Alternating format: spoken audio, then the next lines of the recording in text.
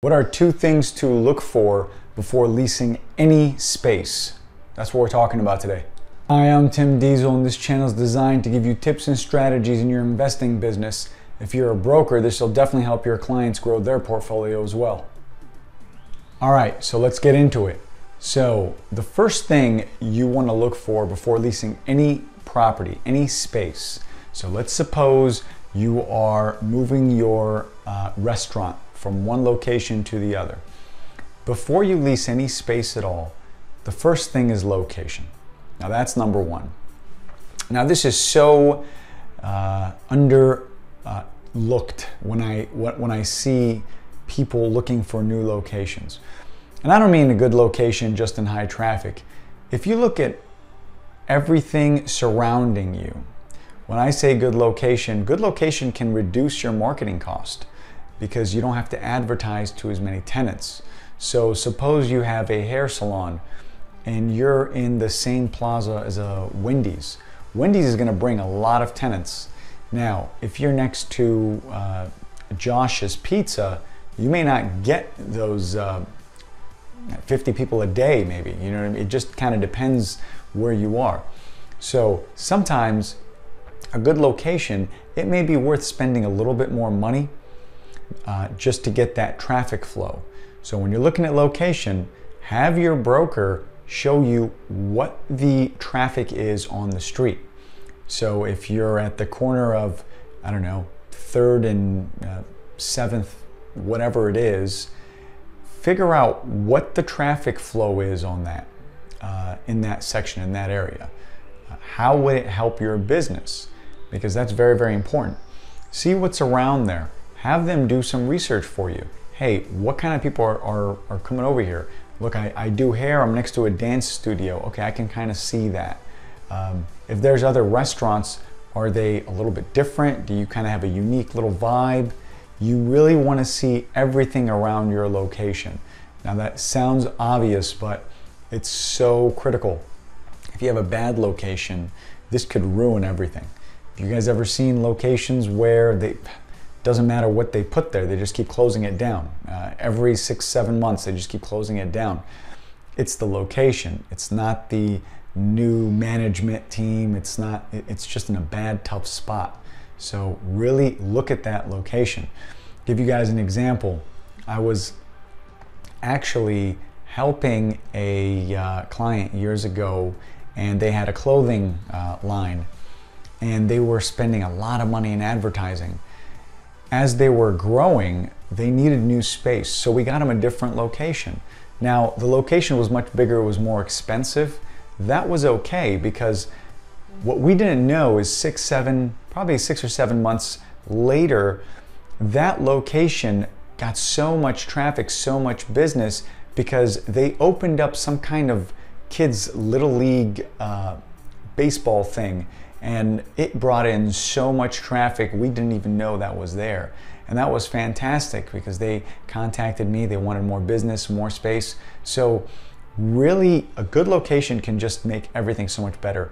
Your advertising cost is the biggest thing. That comes down and you can spend those dollars somewhere else more effectively.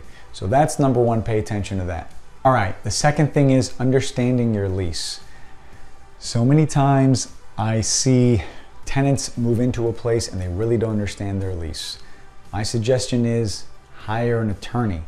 Pay them the few hundred dollars, have them go over your lease, really understand it. Even if you have to pay extra to sit in their office and have them explain it to you, that's really something you want to do. Uh, a lot of times I see brokers, and it's not their fault, it's just the industry term. Everybody throws around triple net. Triple net does not mean everything. I, I, don't know where that came from. It means three things. That's why it's called triple net. And the tenant that's there, they end up being responsible for a lot of things. And if they would have just read their lease, they would have known that's not on their side of the ledger there. It's on, it's on the owner's side. And the owner, the landlord, ends up hiring brokers and they're um, representing it as it's a triple net deal. You're responsible for everything. Well, that's not true, and you really want to get clarification. That's not always the case, but sometimes it is. So the biggest thing is understand your lease. um, if there is a big major tenant and they leave, sometimes in your lease you're allowed to go too. So you really want to know that. Know who's around there. Are they affecting your business? Really understand everything. What do you need to do? Uh, what are you responsible for cleaning? Getting things checked out. Stay on top of your um, uh, documentation as much as possible. Now, if it comes time to renew, things like um, two, uh, maybe you have a three year option after your first three year, figure out what that is. How did you negotiate that? What are the increases? So if you have CAM charges, what are they going to be? A lot of times I see people get into these deals and they really don't ask and they don't dive in. They think everything's going to be okay. The truth is, most of these businesses fail three to five years. Unless you're a franchise tenant, I haven't seen them stick around forever and ever and ever.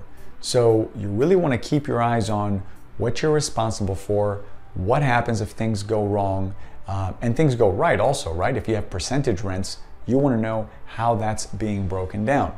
You want to know everything you possibly can. Have someone sit with you and explain your lease. And um, an attorney will be happy to do that for you. You probably have to pay them, obviously, but they'll do that for you and just really get an understanding. And that's really the biggest thing I've seen a lot of uh, tenants at a disadvantage. All right, I'm gonna give you one last bonus tip before moving your business. So let's suppose you have a business and you want a new location. Figure out what it's gonna cost you to move. Now, in my experience, when you move into a new location, you're usually not hitting the ground running, right? You probably need a few months, everybody to see what's happening. You're looking at six months to a year. So factor up what it's gonna cost you. So if you're in location A and you wanna go to location B, figure out how much reserves you need to have in order to get location B off the ground and kind of get things spinning. Evaluate the entire deal and evaluate future business. So if your current traffic count is 10,000 and your new location has 20,000, it doesn't mean you're going to double your business. You need to know who are those patrons, who's around there, what kind of businesses. So really understand that little market or have your broker explain it to you a little better. So the question today is Have you had a situation where you didn't understand your lease as well as you thought you did? And how did that affect your business? All right, like this video, subscribe to this channel, especially if you found this information valuable. Ask me questions, comment. I'd love to get back to you. Thank you guys so much for watching. I really appreciate it.